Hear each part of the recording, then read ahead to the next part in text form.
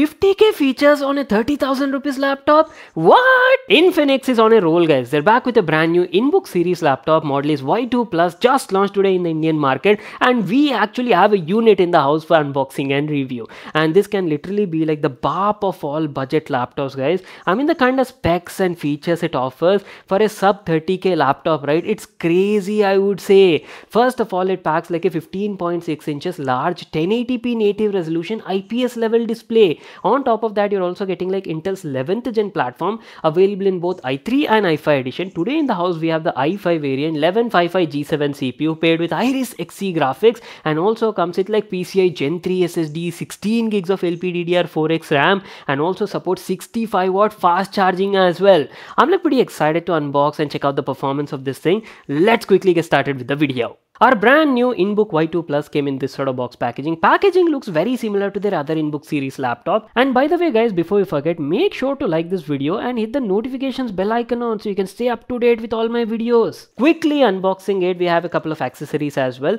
And there you go, our brand new InBook Y2 Plus laptop at the top. And by the way, this laptop is available in three different colors. Today in the house, we have the blue color edition. And along with that, you're also getting a 65 watt Type-C fast charger included in the package package and some paperwork. Just make sure to read that. There you go, Infinix all new InBook Y2 Plus in the hands and initial impressions, laptop actually looks quite premium for the price point. No way it actually looks like a budget sort of laptop. Entire body is made of like metal guys, aluminum alloy to be precise and definitely looks premium. We especially have the blue color edition today and this looks quite attractive in person guys. If you talk about the design right, clean and modern design, you just have the Infinix logo at the center and that's it, nothing else. Office goers or professional people will definitely like the look of this laptop. If you ask about the fingerprints, it's a metal body, right? Does seem to attract a bit of fingerprints over usage. So you might have to keep cleaning it once in a while. But apart from that, if you talk about the dimensions, laptop is definitely a thin and light category laptop. Look at the thickness. It only has around like 0.71 inches thickness. And talking about the weight, it is pretty much manageable, I would say,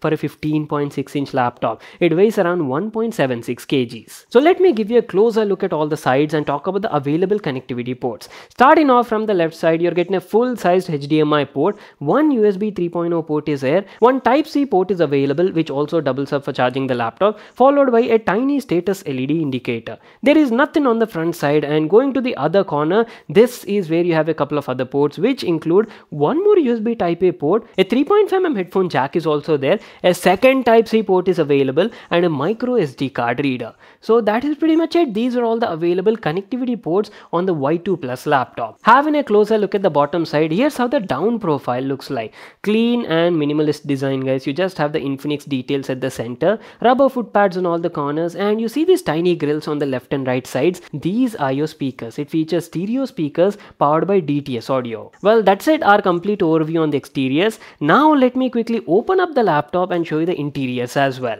Oh, that is nice. You can actually open the lid of this laptop using a single hand. And there you go. Here's how the Infinix Y2 Plus laptop looks like. Now, first of all, starting off from the upper half section, you're getting a 15.6 inches 1080p native resolution IPS level display. And man, look at those bezels. Very narrow bezels, right? Especially for a budget sort of laptop. On the bottom, you do have a bit of chin with the Infinix branding. And at the top side, this is where you have the webcam. You are actually getting a 1080p full HD webcam that way dual LED lighting. The laptop features a white LED backlit chiclet keyboard and quality of the keyboard is nice. Keys felt tactile and clicky. Even the keycap quality is nice and key travel was also comfortable. I've been using it for the last couple of days and had an overall comfortable experience. And not to forget since it has like white LED backlighting, you can even adjust the brightness on the go using these function keys. Coming down to the touchpad, man look at the size of this touchpad. Definitely a premium glass covered touchpad and it was working very well. I didn't face any sorts of dead zone issues anywhere. It was easily recognizing all my inputs and gestures and was working well during my usage. Even the quality of the integrated buttons were nice, tactile and clicky. I know you people are like pretty excited to jump directly into the benchmarks and performance, but కొంచెం ఆగండి first నన్ను display గురించి మాట్లాడనివ్వండి first of all this laptop features like a fifteen point six inches large display and comes at ten eighty p native resolution IPS level display and display quality is actually pretty good at this price point guys i was not expecting that since you're getting like 1080p resolution at 15.6 inches. Everything looks crisp and clear good amount of detail no matter what sort of content you're watching. I have watched variety of contents like youtube videos and also a couple of movies and web series on ott platforms like netflix and you know other platforms and had like a pretty good experience. Now talking about the colors now obviously it's an ips level panel and supports up to 83% srgb color gamut range and overall color quality and color accuracy was pretty decent for this price point. I mean see there are so many laptops with these sort of configuration in the market which are much more expensive still come with like a va panel guys. But you're actually getting ips over here so that definitely makes a difference. So this is not only good for like regular office work or day-to-day sort of usage you can even use it for a little bit of productivity and creative sort of applications because of that srgb color gamut range. So definitely good for your photoshop sort of usage. And if you talk about the contrast levels and black levels they were also fine good and acceptable for this price point. Now talking about the brightness the brand says that this panel can go up to like 250 260 nits of brightness and brightness was fine for indoor sort of usage. But if you're using this laptop maybe in like outdoor situations you're sitting in your balcony right? There you might feel that the brightness is tad a bit less. So this is something i felt during my usage. But apart from that right on the overall now very satisfactory and good quality display is what i can say. Even the viewing angles are also really good all thanks to its ips panel. Now keeping the display aside let me talk about the speakers as well. You are actually getting powerful stereo speakers on board and audio quality is like really good at this price point. I was not at all expecting this guys. I mean i have reviewed a couple of infinix laptops in the past also but compared to that infinix has definitely improved the audio segment. Everything feels crisp and clear especially if you're listening to any sort of dialogues right? Everything is like audible and easily understandable. Output is also like pretty much loud and satisfactory. You don't need a separate bluetooth speaker for day-to-day sort of usage it's like a total package at this price point guys. Display speakers and performance. Ah now comes the performance part. You people were like excited for this right? So first let me tell you the specs. As i've told you y2 plus is available in two variants. You get intel's 11th gen i3 and i5 edition. Today in the house we have the i5 variant. So this is actually powered by intel's 11th gen i5 1155g7 which is a 4 core 8 thread cpu with a max turbo clock of up to 4.5 gigahertz. There's no dedicated gpu i mean come on. You can't even ask that question for this price point. You're only getting like built-in iris xe graphics and paired with that you're getting 16 gigs of lpddr4x ram and also 512 gb pci gen 3 ssd and combined i think it is a very well balanced configuration around this price point. I have been using this laptop for the last couple of days and i've done like variety of things like creative productive day-to-day office related work and also a bit of gaming. And i was actually quite impressed with the performance. That i5 11th gen 1155g7 is a really good cpu around this price point. You can easily use it for your office related works maybe like text editing ppt presentations and everything was running like muska. What office related works? I've even done photoshop also and had like a pretty smooth experience. Basic 1080p video editing can also be easily done over here. So this laptop is like great for students who want to do like programming coding on budget or maybe if you want to learn some sort of productivity skills right? You can definitely do those sort of work over here. Now some people will ask about the gaming performance. Can this laptop actually play games?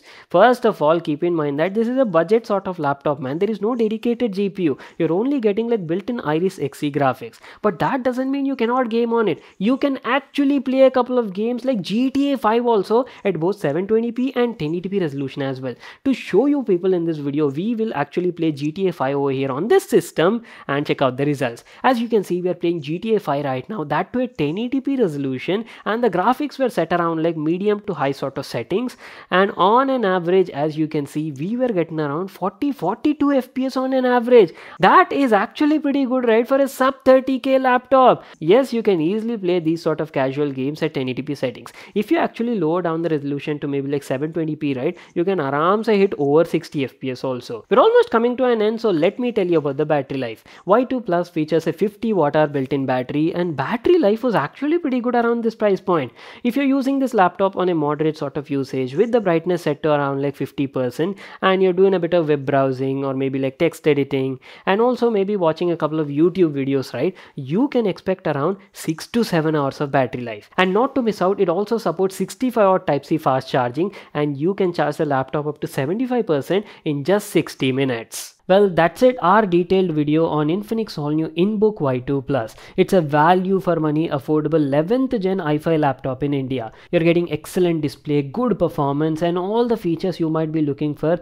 around this price point. Only few things if I had to nitpick is the laptop doesn't come with MS Office bundled and you'll have to buy that separately. And second thing is brightness of the display as I've told you is tad a bit less. But apart from that, everything else is fine. And lastly, talking about the price, we still don't have any information on the exact pricing details because this laptop was under embargo while making this video. But we do have an estimation that pricing of this laptop is going to start under 30,000 rupees. Once I get all the details, I'll definitely update you guys in the description box below along with sharing a link. So stay tuned for all the updates. Make sure to smash that like button and subscribe to my channel for more such awesome videos. And I'll see you all in my next one.